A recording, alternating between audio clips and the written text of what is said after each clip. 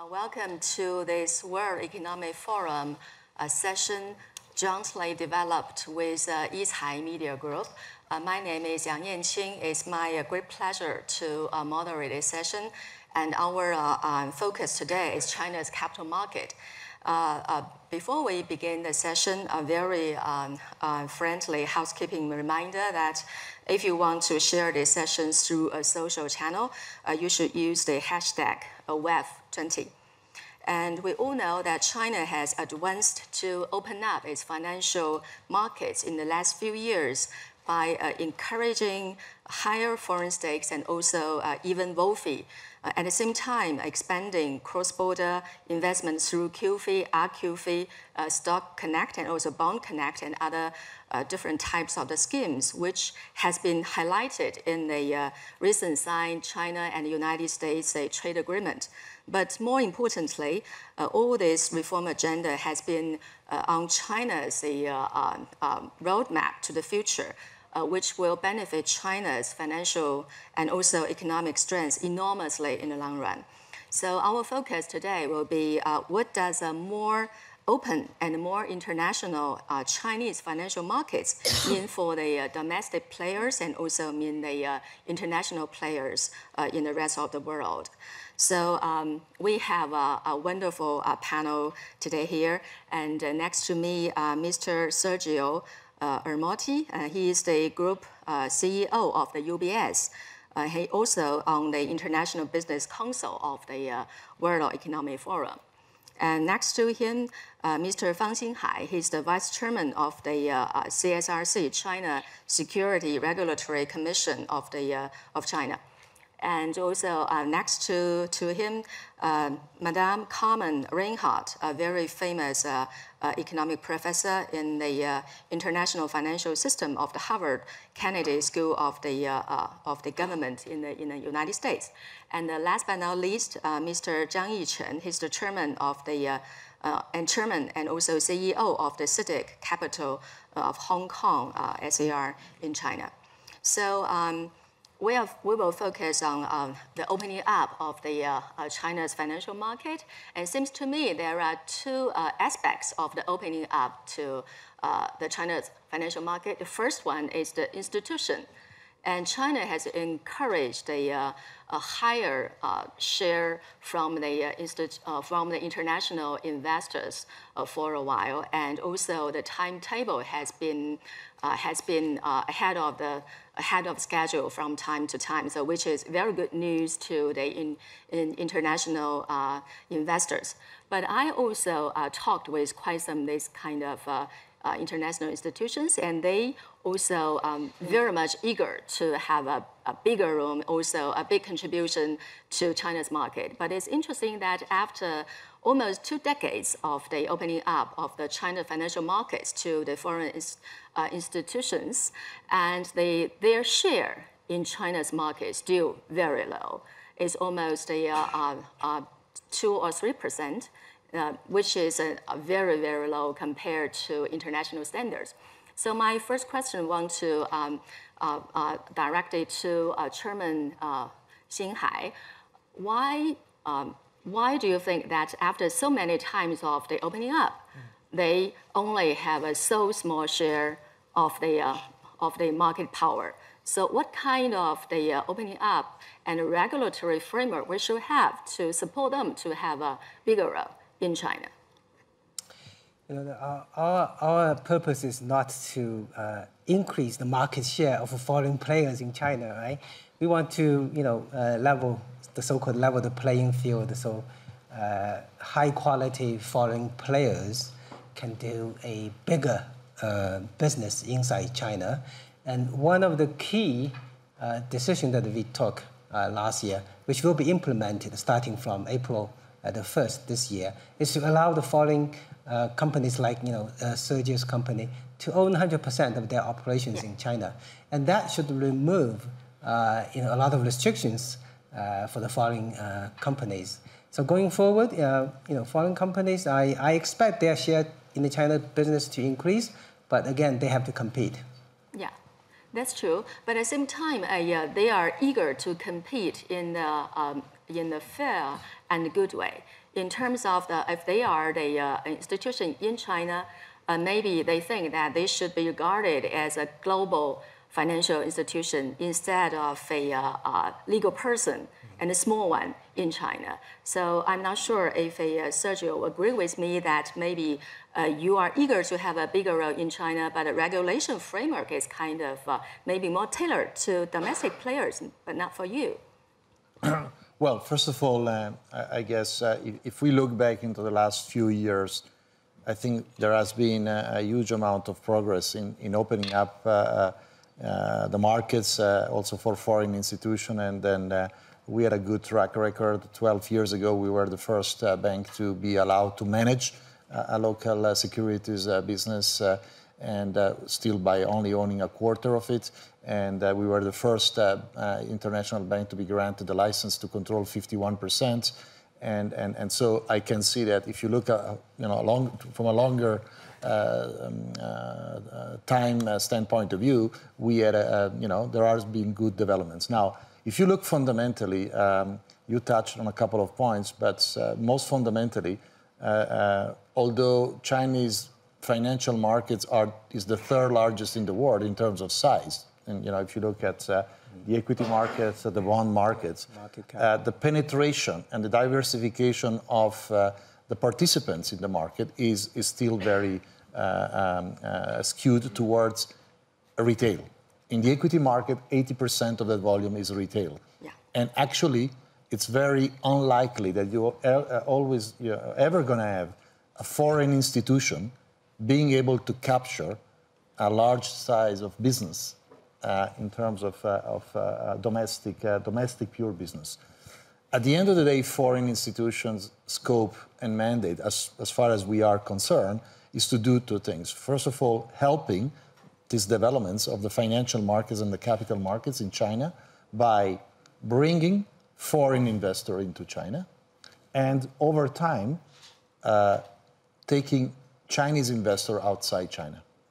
So we have a very defined role from our strategic standpoint of view that we are not necessarily there to compete on pure domestic business uh, in areas where uh, you know scale mm-hmm. and, uh, and, and broader uh, even potentially physical presence, particularly in the last few years, was necessary. Of course, now you could argue that through technology, you would be able to catch up. The truth of the matter is that there are already many incumbent, mm-hmm. sophisticated tech players that already took that market share. So, as far as I'm concerned and UBS is concerned, we are really focused to help develop the capital markets in China by taking uh, uh, foreign investors into China and vice versa over time. And in that respect, uh, uh, I think that there is a lot of scope for, uh, for improving. Having said that, it's true that the fragmentation of legal entities that we have through the asset management, securities, wealth management is not an efficient way for us to operate. And maybe there are ideas on how to streamline and allow us to use resources, financial resources, human resources, more horizontally and being able to operate as a, as a group. Uh, I think it's, it's not easy for the uh, uh, chairman Fang to uh, uh, make this kind of very good regulatory framework for the for the foreign institutions because the uh, CSRC, CBRC, and C, CBA and CBIRC, and also the SAFE and PBOC. So all the uh, regulators and the central banks are involved in. So how would you coordinate with other regulators to uh, to shape a more friendly, more fair playing of the of the field for the, I mean, for the uh, foreign institutions? You know, re regulation certainly evolves, right?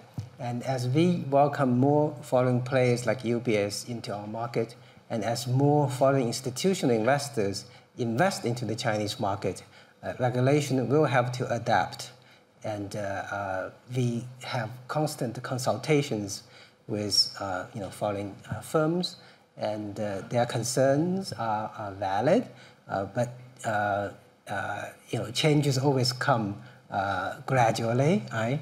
Yeah. And uh, so on one hand, I think uh, uh, in our regulation will adapt, it will change. On the other hand, uh, it will um, it will evolve gradually. Yeah, I think a lot of improvements have been made. Yeah. So maybe one point. If you look at our activities in the U.S., we are active through an intermediate holding company, and we are regulated in the U.S. by the Fed, the OCC, FDIC, the SEC, just to name four.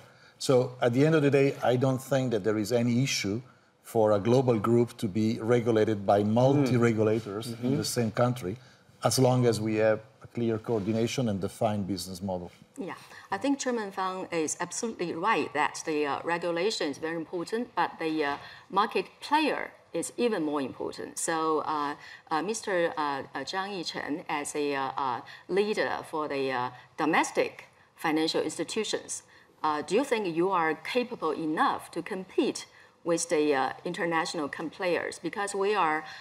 we are saying that the, the wolf is coming. Wolf is coming for two decades. Do you think this time is real? They are coming?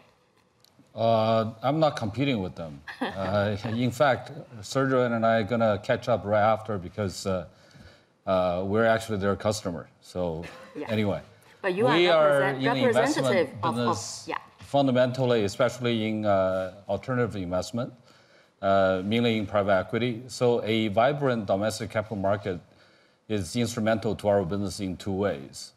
One is clearly it's the exit for our investments.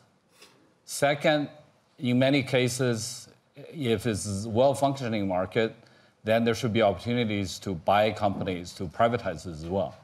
We have done that in many other markets in the world, in the US, in Hong Kong, and we certainly have listed companies as well. We invested our portfolio companies uh, on the A-share.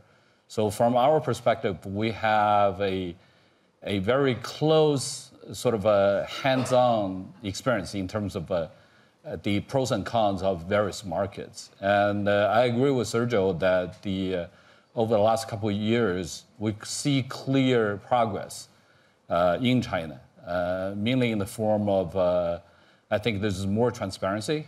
there's more in terms of more stricter enforcement of the rules.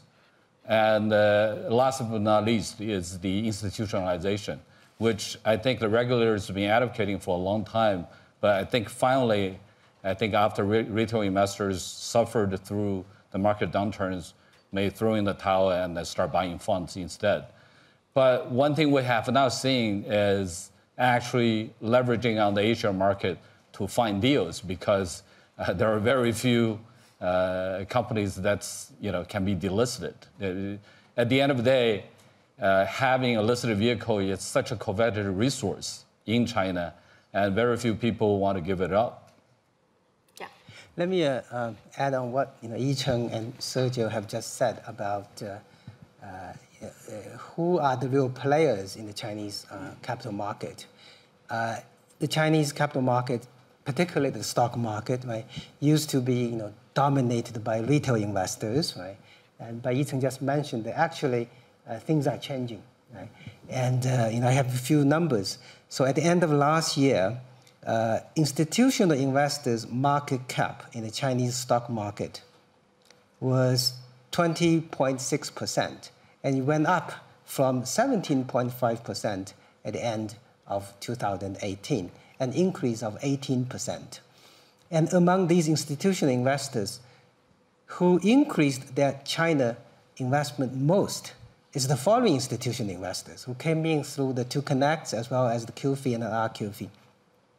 So their market cap was 3.1% at the end of 2018, but it went up to 4.2% at the end of uh, 2019, an increase of 35%. And as a result of this change, you know, the Chinese uh, stock market has become a lot more uh, institutionally determined uh, market, and pricing, in my view, has become also more efficient. So, for example, last year, you know, the overall market index, the Shanghai Composite Index, went up by 22%, right? And the MSCI stocks right, uh, went up by 44.8%. Now, we have a very interesting index in China which tracks uh, the price of these not so good stocks. You know, we, we put an ST on them, right? Yeah. So some of them, you know, may have incurred a loss. Some of them may not have uh, uh, performed well in terms of information disclosure and so forth. So these kind of problematic stocks, they also have an index. That index declined by 14%. So that's exactly what it should be, right? Now, in a retail-dominated market, that may not be the case, right? The ST stocks also went up, you know, when the entire market uh, goes up. So this is a very positive development in the Chinese stock market, which means that stock market going forward, you know, will become a lot more resilient in the sense that it will be able to withstand external and internal shocks, right? Because institutional investors have a much better view about the stock that they invest in, and they will not be so jittery, right? And the market will also become a lot more vibrant in the sense that there will be, you know, a lot more IPOs. Uh, the market can take up uh, these IPOs without uh, problems. And, uh, uh, and Yichen mentioned the value of a listed vehicle, right? Um, the value of a just a listed vehicle should not be very high. Right? And uh, I, I It think used to be like uh, around 3 billion RMB per uh, which, vehicle. is, so- which is obviously quite ridiculous. That's right? right. And I think going forward, you know, the market will be a lot more rational in terms of pricing a vehicle uh, as well. So, so overall, you know, I just want this group to know that you know, the Chinese stock market is undergoing some very positive change, and uh, the size is already very big. So the quality is also rising, and uh, it should be a big place uh, for institutional, uh, particularly foreign institutional investors, to make investment in. Yeah, I think the are more positive and healthy uh, changes brought by the uh, uh, international uh, financial institutions to China uh, will will uh, will continue to come. If we look at the data, uh, uh, uh, Chairman Fang mentioned four percent of the China's uh, security market cap. 4.2%, yeah. but actually, if we look at the all the tradable shares, then it's 8%, which is even higher. Okay. So we're very optimistic that they will bring more kind of positive culture and the, uh, uh, the new style of the uh, uh, value investment for the market, a lot of new things. But we will uh, touch on that, deep, uh, touch deeper on that a little later. And now I think that we should uh, go to Professor Carmen Reinhart. And Professor actually published a very, very interesting paper uh, in NBER working paper on China's role in the global financial markets. And also, you're right, that is a, a two-way traffic. China's uh, go out to the global financial market, also global financial market uh, come into China. So how do you look at China's role in the big picture, and how do you look at the uh, China can continue to speed up the uh, role of the RMB uh, in the rest of the world uh, down the road?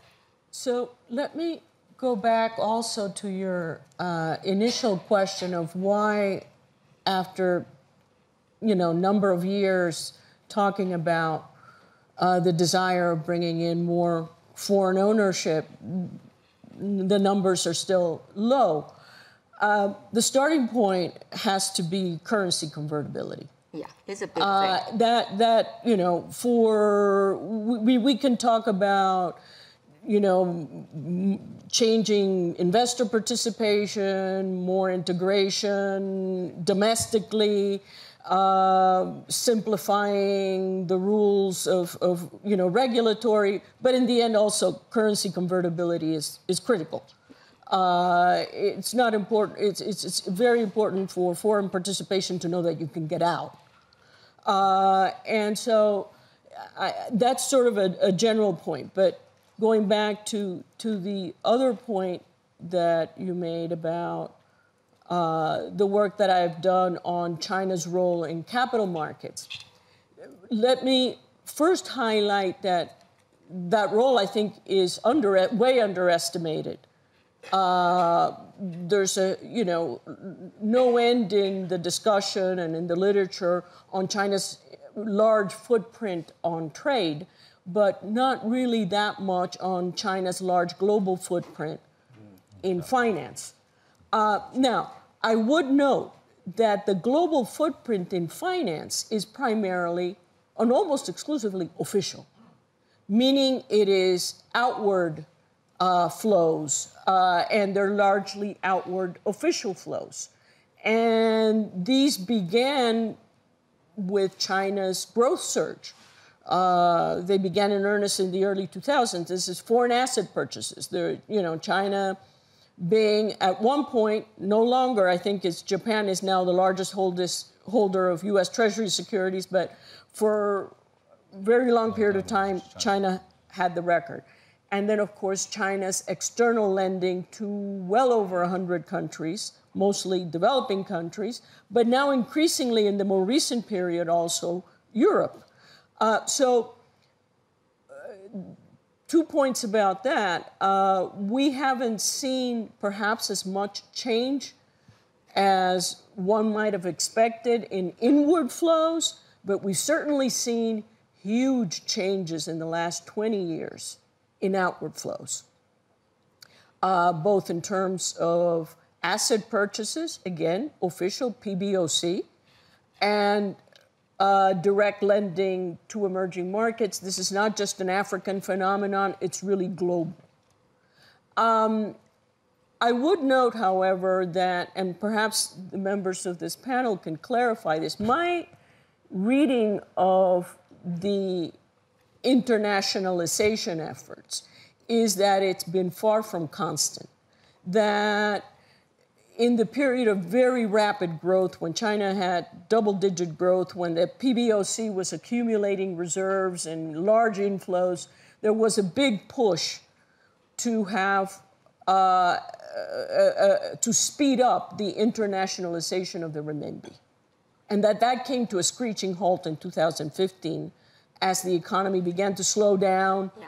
Uh, inflows became outflows, and capital controls at, by the end of 2015 were not lifted, they were strengthened. And these were controls on outflows. So um, I think we may be now, and this is conjectural, but I think we may be now on the cusp of another quickening, you know, with the trade agreement I think importantly also with the uh, more general perception that the global markets and investors have absorbed the message that growth is no longer averaging over 10%, but that is more likely to average 6%, that that transition, uh, you know, was made and that uh, China is really looking now to possibly reactivating the, the, the speed at which it opened capital markets. But I also want to hit on points that have been raised about regulation and in the uh, internal markets. I think, given the size of China's economies, we're really discussing two things. One is we're discussing how Chinese capital markets can become more efficient, can become more developed, and so on. But I think also behind that and with that is how does China's how do China's markets take a lead, possibly becoming, given the size of its economy, another global uh, reserve currency? Yeah. Uh, and apart from the remark that I've already made on the need for convertibility, I think uh, what makes or breaks, and we can go back to this time permitting, uh, whether a, a country or a currency succeeds as a reserve currency is having uh, a well integrated, highly liquid uh, domestic debt market. Um, and I think China I would love to hear how China is moving uh, towards having, it certainly has the scale for a very impactful global domestic debt market a la US Treasuries, um, which has been a setback for the euro, which, you know, you have one, you know, you have one currency, but many debt markets in Europe. Um, but I think we're really in this discussion have been talking about two things. One is the development of the the capital market just to you know make it more efficient, make it more international, but the other is really to does it go beyond that to, to a reserve currency status? Yeah, thank you, Professor. Just we uh, push uh, uh, China's opening up of the uh, uh, capital market into more broader uh, kind of the landscape. The bond market in China is so important, and also internationalization of the yuan is important, and also convertibility of the capital account is also important. So uh, maybe we can touch on uh, them one by one if we have enough time. So uh, first to Sergio, um, if you have business in China and you have a, a, a parent's company uh, in Europe, and sometimes you need to uh, cross-border capital flows, and you will face some kind of the uh, uh, difficulties. So how do you see the urgency for China to have uh, push a little further in terms of capital account and to nurture you to have a bigger role in China and also make China's capital market, including bond market, also uh, uh, equity market, is more uh, open and more resilient and also more integrated into the global financial markets. Yeah, well, first of all, let me tell you that if I look back in the last few years and as of today, we never really uh, faced a situation in which we or our clients were not able to take out any investments from China. So I think it's the discussion is all about because the limits that we have right now are sufficient to accommodate today business.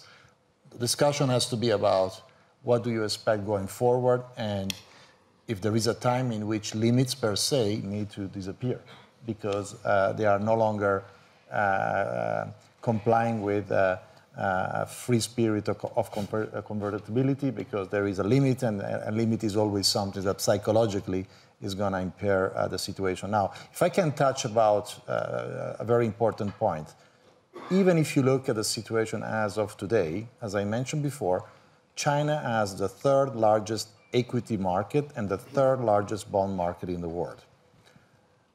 The situation, although, is very similar to Europe in that respect. Because if you look at how the economy is funded, 70% of the economy is funded through, in the credit process through banks, like in Europe. While if you look at the US, in the US, you have only 30% through the banking system and the rest is capital markets. So the real opportunity for China is twofold. I believe having a more diversified access to, uh, uh, uh, to credit or to financing in each part of the capital structure. It's the only way to really uh, make yourself agile and more flexible uh, going forward and to be attractive for both um, um, in, uh, domestic and international investors. Um, if, you, if, you, if you do that, you also create less dependence on the banking system. And, and, and, and, and in, in, in, a sense, uh, you, you, you can uh, you, you can take uh, advantage of, of, that. So, in a nutshell, I, I think that there is an opportunity for China to make sure that it doesn't repeat the problems and the, and the errors of Europe of not creating a broader and more comprehensive capital market infrastructure uh, to fund the future growth. And, and, you know, of course, we saw a higher penetration of institutional investors coming into the market, many of them foreign, because of the inclusion on the MSCI, mm-hmm. right? Which was a, a meaningful uh, movement. But there is a point in time in which institutional investor in China needs to be able to go more outside through a higher QDII quota and, and so that, and that the inflows provide, are compensated. more business for your company. Absolutely. Uh, now, uh, let me just add on, on this internationalization uh, question. I think um, uh, China has adopted you know, a clear policy to make the RMB um, more internationally used, right? And at some point, it will become one of the reserve currencies in the world. But that takes a lot of work. Right? So you mentioned, you know, the capital account convertibility. You mentioned that China needs a large and liquid uh, capital market, particularly the bond market, and this market has to be you know, unified, open to international investors, and so forth. But these things are not going to come together in a very short period of time. So it's all natural. The internationalization sometimes goes a little bit faster, sometimes you know, goes a little bit slower, right? And in all this process, you know, one overriding concern for China is that we want to make the entire financial system stable, make it right. So you don't want to create, you know, unnecessary risks in the process of internationalization. And, uh, uh, and in any case, without a very uh, large, you know, unified, liquid, and open capital markets, the RMB will never be a real international currency, right? So, so the, the first step, you know, in my view, is that let's, let's concentrate on making this capital markets, including bond and equity market, you know, large, vibrant, and open. And then when that infrastructure, almost like the infrastructure is there, the, uh, the pace of RMB internationalization will quicken. But let, let me say that uh, actually, to me, the slowdown in two, from 2015 made sense. Yeah. You actually, the time to aggressively pursue capital account opening is not when you have the potential for, for capital outflows. It's when you're getting inflows. Okay. Uh, so you open up in good time, in, in the best of times when things are, are more likely uh, to, to, to not trigger uh, an overshooting and end up with more capital outflows uh, as a consequence. So the, the, the, the, the quickening or the pace of liberalization is, is I understand that. Uh, I would like to point out, though, that another dimension that, and, and this is more iffy, right? I mean, what is private and what is public? Um, it, in, in China, I noted that, I mean, the, the, the uh, amount of China's lending outstanding to the rest of the world, it's about 6% of of global GDP. That's very substantial. Mm-hmm. Uh, but it's largely official. Uh, so the yeah. part that according to your uh, that very good paper, it is very clear that the uh, public uh, public money actually from the uh, from the import and export uh, bank and also for the uh, uh exactly. Uh, China uh, Development Bank, and it's kind of it's it's not a real public money. It's kind of mixture development money. So it is mm. um, it is very difficult to define what is the public and what is private. But put them together. what is your suggestion for China to um, have this kind of investment in the emerging market, especially in the one belt one road? Uh, do you think that more transparency is needed and also maybe more viability of the uh, commercial lending is more important or China uh, model is still has some uh, uh, some good reason there, good rationale there in your view? I, I, think it may be too early to tell, but what I'm sensing is, look, uh, in terms of China's lending to the rest of the world, as I said, it really began with the central bank, the PBOC, buying foreign securities. That, that was the first, so it was a, very much a portfolio, an official portfolio flow. Then it expanded to development lending uh, and trade finance to mostly low income countries, but in recent years we've seen it moving more and more towards middle income and more recently uh, to high income. And I think that is where we're seeing more joint ventures between, or at least a bigger blurring between what is official lending and what is private lending. I think the private sector uh, is playing a bigger, a role, bigger role, in lending to Europe. Yeah, uh, which is so, good. So th- what. I'm saying is, is that that may be, it may be too early to say, but I think that is organically happening already. Yeah. I think it's very important. A lot of the issues we need to touch upon, but still uh, we don't have enough time. But uh, yeah, uh, I think uh, uh, Mr. Zhang, maybe you want to talk a little bit on the currency RMB convertibility in terms of the China's capital capital market opening up because you are based in Hong Kong and you can have a very good sense of that how uh, important the convertibility of the currency of RMB uh, if it can play a bigger role in the rest of the world and also Hong Kong is a good bridge there but still yeah. Uh, we manage both RMB funds and dollar funds so Uh, for us, given the investment we actually make, it's counted as foreign direct investment, it's FDI. So that is totally, there's no limit to it. So, we, and we have never encountered any trouble in terms of uh, expatriating the capital, like you know Sergio pointed out. So I, I, I, do agree with, I think the general direction is for renminbi to become more international, but at the end of the day, you cannot rush the process. I actually believe, uh, you know, I think Carmen pointed out, it was largely driven by capital flow, the initial sort of foray. Uh, and uh, uh at the end of the day, I think in order for internationalization of RMB to stick, uh, instead of a, you know, two steps forward and one step back. It's fundamentally there has to be real usage, you know, real demand for RMB. And we are still quite far from that. And the second, even in terms of uh, the overall structure of the capital markets, you know, Serge pointed out that the, uh, uh, you know, China is, at this point is more based on the European or Japanese model is a bank-dominated uh, uh, financial system. In fact, you know, China is even more. China, we are actually talking about 90% of financial asset is in banks. And clearly, it's a stated goal of the government for, as far as I know, I, I think it's, almost, it's at least almost 18, 17 or 18 years since 1993 that this has been talked about you know, change, you know, shifting from a bank-dominated or sort of a indirect finance uh, capital to a, a direct finance sort of a capital market.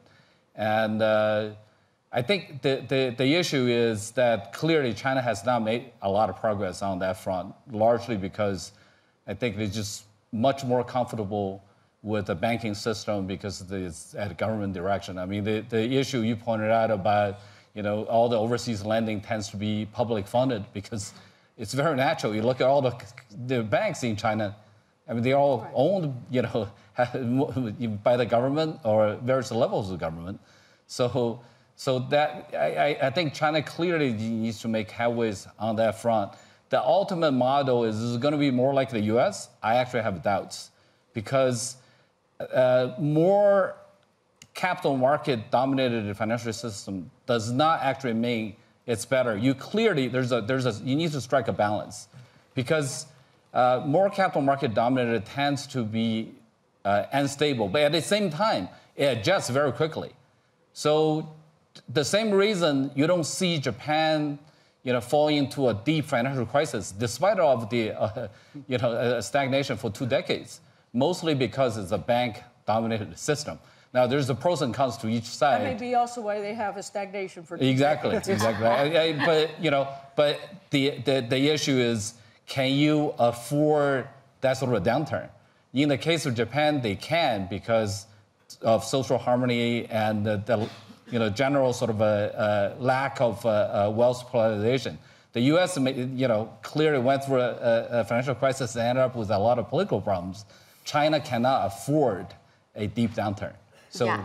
You know, that's yeah. the I think two model, for it. Yeah, two models are very interesting. Uh, thank you for uh, Yichen mention on that. Uh, one is the Anglo-Saxon model, which a capital market play a bigger role, and another is kind of uh, a continental model, and also including Japan and Korea and China, which banking sector play a bigger role.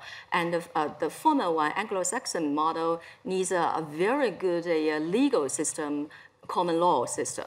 And for the uh, continent, it's uh, another uh, system of the law. So I think that the two model uh, has the uh, historical origins, but still has some pros and cons. I think uh, Yichen and also uh, Sergio is absolutely right. So the question is for Chairman uh, Fang, do you think how China can strike the balance between yeah. the two models? Yeah.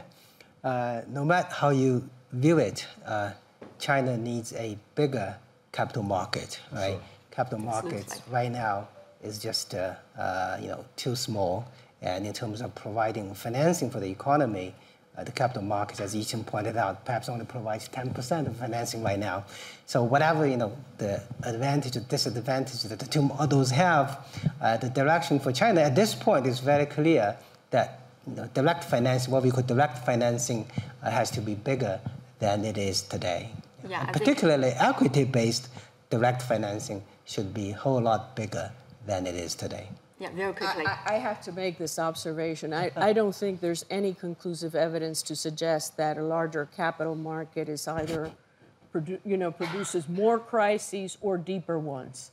Uh, if we look at the rate of recovery from the 2008 2009 crisis, uh, the average number of years it's taken Europe to recover lost GDP is approximately twice what it was for the US. Uh, so I think, you know, I, I wouldn't push the I, am not disagreeing Yeah, yeah. with you. You are definitely the leading expert. I read your book on that, but the thing is, I think about the social stability point, which is how when, when you have a deep drop, as a developing country like China with so many other social problems, can you afford it? That is the issue. I'm not talking about the ideal structure of the. Uh, Yeah, uh, I think we need, system. uh, yeah, I think we need another uh, two or three hours to debate and discuss on China's future capital market and all the trends and problems and issues. But uh, we have to wrap up now. So I would like to wrap up by uh, asking our panelists uh, a final question. Uh, in your view, uh, what is the uh, uh, the best news in China's capital market in 2020? And also, what would be the uh, black swan event in China's capital market in 2020? Maybe uh, from Sergio first.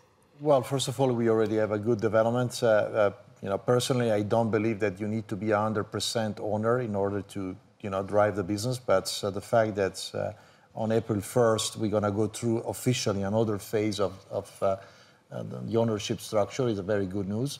The great news will be, as I mentioned before, if we are, if foreign firms are allowed to uh, uh, act uh, more in, a, in a more coordinated way within the same uh, legal entity ownership uh, uh, framework. So um, Maybe more ambitious? no, uh, I, I, I think I, I think that the reason is what one has to do step by step, and so I think that uh, we uh, we need to be able to continue to invest uh, in a sustainable way and, and, and balancing future uh, growth with the uh, the need also to see some. Uh, economic uh, benefits. The the black swan, I, I personally think that can only be not necessarily a Chinese uh, black swan. I, I, I believe it's more a geopolitical um, uh, event that uh, drives uh, maybe um, an acceleration of, of a slowdown in the global economy. And then, in that sense, you could see maybe um, these developments of opening up of, of, of the markets in the globe, but particularly in China, slowing down. Yeah, but for the black swan, the possibility is very low, so still okay. For- But you asked me yeah. for a black swan. Yeah, right. Yeah, right. Exactly, Chairman. Uh, uh, as a regulator, obviously, you know, I watch out for black swan events, um, but I cannot say anything about it. I Uh, agree. The good news that I expect from the capital market is that, uh, you know, if the market becomes even more driven by institutional investors, if you know both domestic and foreign institutional investors uh, started to play a bigger role right, in you know, determining the price, in trading, and in driving corporate governance uh, as well. That would be uh, the good news that I'm looking for. Yeah, thank you, Professor. Uh, I think, barring the new health threats, uh, the year started, you know, on a pretty upbeat note in terms of renewed stability towards higher growth and so on. So that, that, that that's a good setting for capital market, uh, uh, you know, capital market reforms for uh, uh, financial, moving forward on a financial agenda. In terms of black swan, I have to bring up Hong Kong. I mean, that that is, you know, the big unknown. Yeah, but Hong Kong situation is improving. Yeah. The trend is good. Mr. Zhang. Uh, sure. In terms of uh, capital markets uh, in China, I think we are uh, cautiously optimistic this year, mostly because I think it uh, was the deleveraging of the last three years. Uh, the results have been uh, mixed. There's some, you know, positive achievement, but by and large, uh, leverage did not really go down by that much. Fundamentally, it has to do with you have the companies, the, the, the, the microeconomic entities that's, you know, with, with vitality that, that, can generate cash flow, that's the fundamental way to deleverage. And, and uh, now that capital markets is more transparent and uh, institutional investors tend to focus on value, that would encourage companies to focus on their bottom line, improve their ROE, and fundamentally that will be the right way to deleverage by improving cash flow. Yeah, thank you very much. We're looking forward to more uh, good news down the road in China's capital market. And also, uh, obviously, we are well prepared for the Black Swan event, and eventually the Black Swan event will not come at all. Okay, thank you. Please join me with a big applause for our panelists, and thank you so much.